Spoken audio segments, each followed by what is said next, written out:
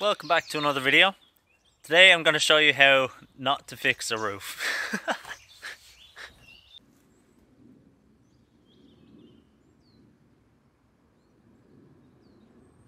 yeah, so we're up on the roof today and a couple of weeks ago I was just taking off some of the ivy. It's one of those projects I do a little bit uh, whenever I find the time and I, I feel like putting in the effort because that ivy is uh, it's all knotted and matted together so it's really difficult to kind of get it all off at once. But I hear oh, let me show you the view here. I love oh, one second. I love coming up here and just seeing my property from a different perspective. Um, but you can see here there's still some ivy on this side of the chimney here. And uh, oh, one second and I'll show you what the issue is Alright, so you can see here at the back on this gable end, there's still a lot of ivy here. That's just like one big mat, difficult to get off. And um, the concrete's all broken off here, which was acting as the flashing to keep the water from going in underneath the panels here. Got a little hole here I gotta fix. There's a hole in another part that I need to patch up as well. And there is can you see that? Yeah, you can. Some of the ivy is in under the roof and pushed up these panels here. Um, and I can't take these panels off because the barge is obviously it was poured on top of the the panels so I need to take the barge off to take the panels off to get access to this unless I come from underneath I don't know it's it's a big project that uh, I just don't want to think about it right now. So I'm gonna do a quick patchwork job, which which will see me through until um, maybe next year. I'll have a look at fixing the roof properly. But this is one of the reasons why I haven't put the I'm not going to put the solar panels on the roof of the cottage yet. Um, because I don't know if I'm going to replace the, the timber on this thing or not and yeah. So anyway let's get started. I'll fix this up and I'll show you how not to do things. Alright, so the first thing that you don't want to do is take this off. The rest that concrete sitting on the panel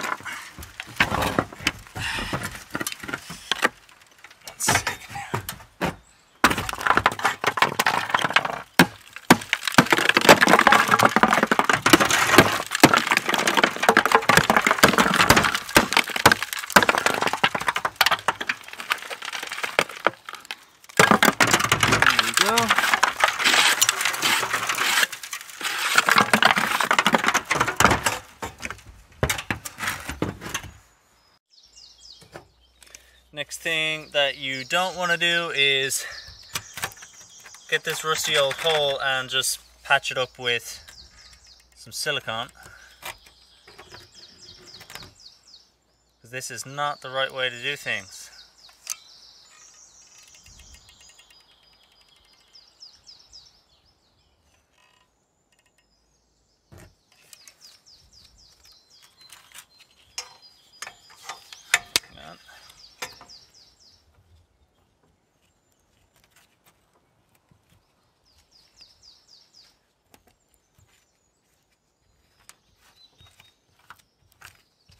There we go.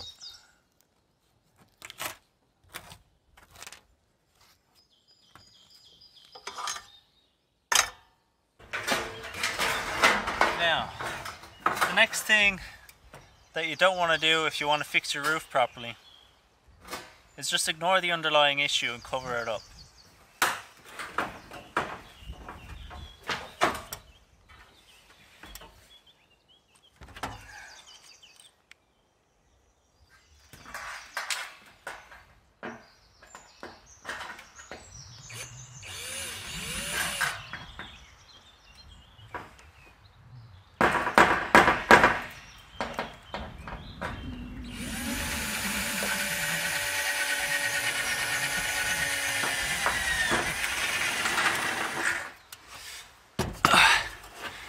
And then the next thing that you don't want to do is use cement on an old cottage.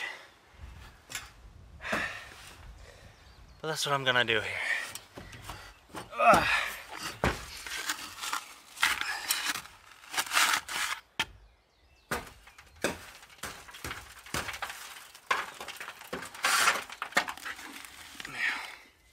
You also don't want to use your hands or expose your skin to the cement because it's very, uh, it's very caustic. It's bad for your skin.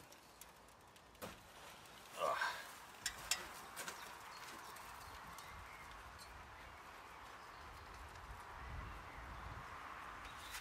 You know, there's a a lot of things that I do that are not quote unquote supposed to do, or it's not the right way to do things, or it's not the perfect way. Um, I just like to get things done and say good enough is good enough, you know? Because sometimes that's where you are in life and that's what you gotta do. Um, like Right now I don't have the budget to fix the whole roof, right? Um,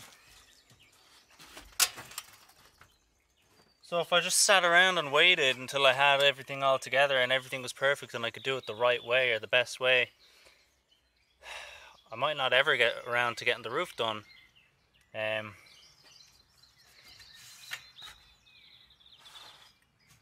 if I always listened to what people told me was the way you're supposed to do things, I probably wouldn't be here. Um, everything about what I'm doing here is unconventional. Um, like obviously I'm striving for more, I'm striving for better, I'm striving to do, to get things to a place where they should be. Um, I do intend to take the concrete off of the, the cottage in the future. Um, but I can't afford to do that right now and this roof needs fixing so I'm going to do what's necessary. And what's necessary is for me to just patch this up so I can move on and focus on the rest of the things until I reach a point when these things will allow me to reach that point where I can address this issue once again in the future because I just want to do this roof once. I want to completely, maybe not completely, but we'll see. But I might end up completely just stripping the whole roof off and replacing the timbers. Um, so I'm gonna do it right. I'm just not gonna do it right right now.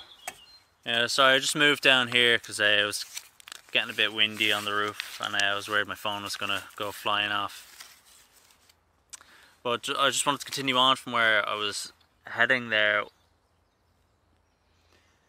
a lot of people I feel get held back by this desire or need for perfection and they have to do everything right uh, the first time uh, or right away. And this this need this can come from this can be placed on them by other people who maybe when they're if they're first starting out at something they get put down or they feel put down because someone might be mean well by giving them some advice and saying oh you should do it this way or it'd be better if you did this or um, sometimes it can come across as you're speaking down to them or that the person might perceive it that way um, but I kind of I like I take this approach of like an MVP approach, it's the minimum viable product. So in marketing, there's this concept of um, you have a product and you get it to its minimum viable stage where you can uh, bring it to sell it to the consumer. And uh, then there's like an interaction between the consumer and the company and over time the product develops and gets better and better over time. Um, so you might be familiar you'll be familiar with terms like alpha and beta testing and things like that. So that's like this idea. So I like to live a minimum viable life, and that's what I'm doing here is what's the bare minimum I need to get in place for me to actually make this possible.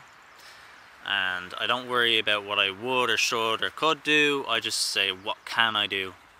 And I'm getting myself in place and over time I'm going to slowly improve things. And I wanted to kind of use the roof as an example of this process. Um, I'm aware that not all the things that I do are the best things that I could be doing. But they are the best things that I could be doing in the context and in the holistic view of what's going on here. And I would like other people to take this approach if they're not already. Um, so like, if, if you marry this MVP concept with the your your you have your circle of control you have your circle of influence and you have your circle of concern. And I think especially today, a lot of people spend far too much time uh, focusing their energy and their attention, their time and their money on their circle of concern, which would be things like politics, the environment, um, just things that are far outside of yourself. And then you have your circle of influence, which would be like your relationships with your family, your friends, your colleagues, um, your your community, uh, or whatever organizations you might be a part of. And then you have your circle of control, which is you, your body, your health, um, and everything that goes with that. You need to focus your energy on your circle of control before you start going on out. You need to look after your own health before you start worrying about the health of the people around you. You need to worry about your own health before you start thinking about the health of the state or the environment or whatever. It starts with you. And you you when you focus on your areas of control, you're going to reduce your stress, you're going to reduce your anxiety because if your attention is always far outside yourself, well then you're you're you're living in a paradigm where you there's there is nothing you can do other than overwhelm yourself by consuming content and tweeting things or whatever whatever it might be. I'm kind of going off topic here, but yeah, I'm gonna like kind of bring all this back because I, tend to do this. Uh, I'm sure y'all know that by now, but yeah, focus on your areas of control. Do what you can. Take things step by step and don't worry about perfection and stop focusing on this big picture. Like if I if I use my project here as an example of areas of concern, control, and influence. My area of concern was I want to have a family here. I want to have a home here. I want to grow food and keep animals and this is the life that I want to live. So when I first arrived, I could have overwhelmed myself. I could have overwhelmed myself before I even set foot here or even bought the place by overly focusing on these things. Um, I could have been too involved with my circle of influence because I, not only do I influence people around me, the people around me also influence me. And they were giving me like, oh, it's not going to be this, it's not going to be that. They're placing this, these ideas of perfection, these ideas for needing needs of comfort straight away, and um, no fault of their own. It was it was all concern for my well being that they had, but had I been in a different place in my life or had I been someone else, I might have given into that and I never would have bought this place. I never would have gotten the Bridgeman name. I never would have started the YouTube channel and you would be here watching me and I wouldn't be speaking to you. Um, but I focused on my area, my circle of control. I was like, what? I know I can do this, and I know I can do that. And when you kind of break it down in steps, slowly you get your short, medium, and long term goals in place. I can achieve this, maybe not perfection, but I can get pretty close if I get if I can get enough time and get enough money. So yeah, I'm gonna leave. I'm gonna leave it at that because uh, I can I can go on. so yeah, hope you enjoyed it. Um, I'll see you in the next video.